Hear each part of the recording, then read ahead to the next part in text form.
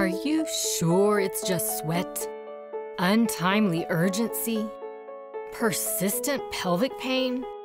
Laughing causing leaking? Prefer past performance? Frustrated with frequency?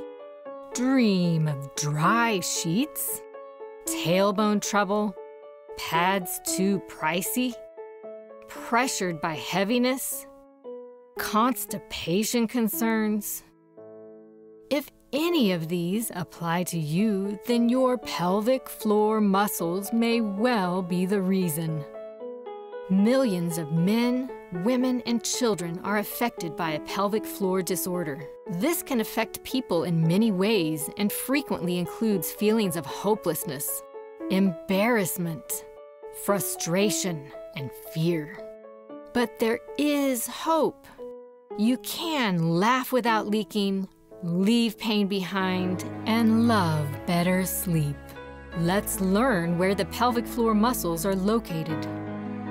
The pelvic floor muscles are a group of muscles at the base of the pelvis that function like a hammock. This hammock of muscles supports three organs in females the bladder, the uterus, and the rectum. In this right side view of a female, you can see the pubic bone in the front and the tailbone in the back.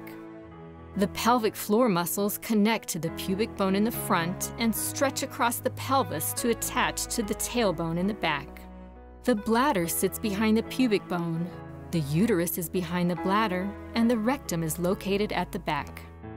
Each of these pelvic organs has a canal that exits the body. The bladder connects to the urethral canal, this is where urine exits the body. The uterus connects to the vaginal canal. This canal is used for sex and childbirth.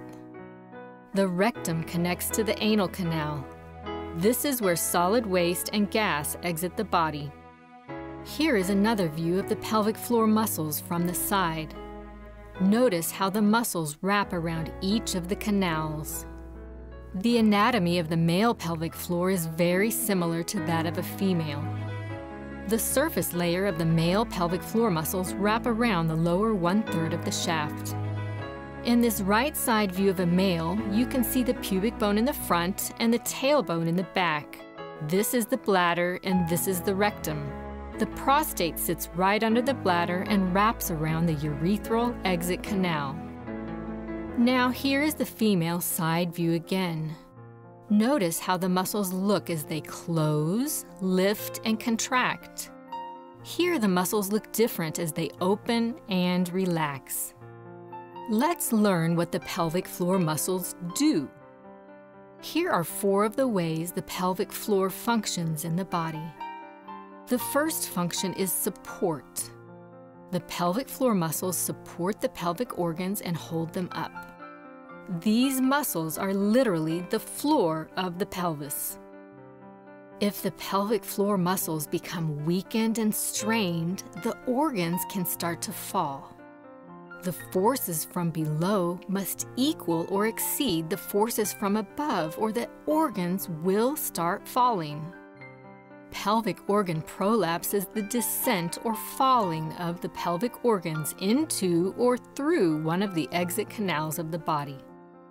Up to 50% of women are affected by pelvic organ prolapse, and of those that have surgery to lift their organs, up to 30% may require reoperation. The second function of the pelvic floor muscles is sphincteric, which means to squeeze or to close off the outlets. The pelvic floor muscles securely wrap around the exit canals to squeeze them tightly closed to keep urine and waste matter inside the body. The pelvic floor muscles also need to be able to relax and let go. This will allow urine and solid waste to exit the body. Let's compare the bladder to a water balloon. As the balloon fills, it should be able to expand and hold the fluid until a decision is made to empty it. If the water balloon outlet isn't closed all the way, leaking will occur. The same thing can happen to the bladder and rectum. If the pelvic floor muscles lack strength or coordination to close off the exit canals, Leaking of urine, solid waste, and gas can occur. Leakage does not just affect people as they age. Even young people can have unexpected and embarrassing leakage during the daytime or at night. Leakage is not considered normal and is a symptom of underlying issues. Urinary or solid waste leakage affects over 25% of U.S. adults. Pelvic floor muscles that are shortened or won't relax can cause other concerns such as pain during bathroom visits, pain with sitting, and pain during sex. Constipation, difficult urination, and frequent bladder infections can also indicate the presence of a pelvic floor disorder. The third function of the pelvic floor muscles is sexual satisfaction for females and males. Over 40% of women and over 30% of men have some type of sexual dysfunction. Stability is the fourth and final function of the pelvic floor muscles. The body's core functions like an internal girdle to keep everything on the inside strong, stable, and secure.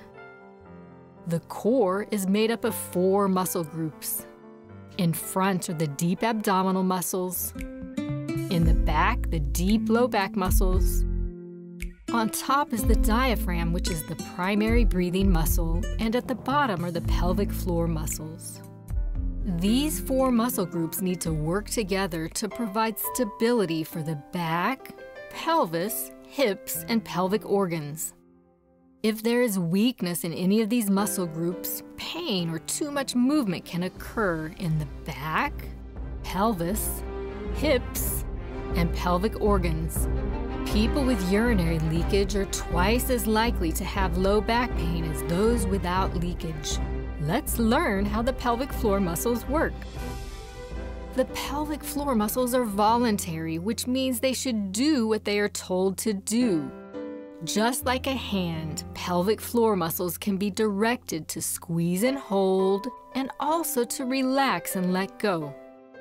And just like other muscles, pelvic floor muscles can be trained and strengthened.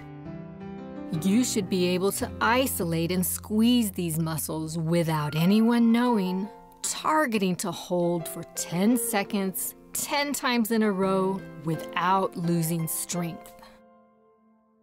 You should also be able to squeeze these muscles without holding your breath or without squeezing your bottom or tummy muscles, or without curling your toes. Imagine that you're in an elevator full of people and you don't want to pass gas. You should be able to keep from passing gas by squeezing your pelvic floor muscles.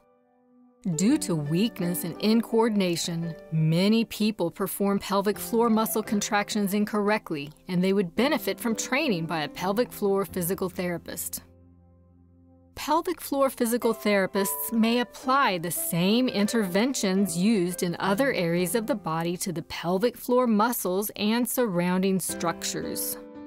Pelvic floor physical therapy uses specialized techniques to retrain the pelvic floor muscles to squeeze, hold, let go, be active at the right times, and relax at the right times.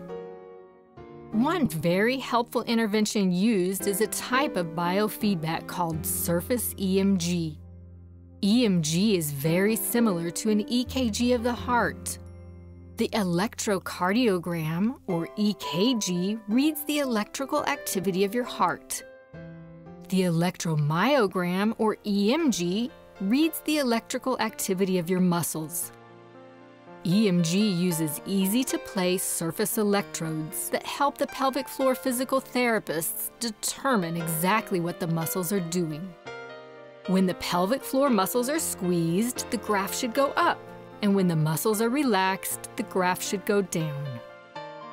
Manual therapy is another very effective intervention used by pelvic floor physical therapists. During manual therapy, your therapist uses hands on techniques to improve movement and decrease pain in your joints, muscles, and soft tissue. Pelvic floor therapy is the number one recommended intervention for most pelvic floor disorders and has helped countless numbers of people reclaim their lives.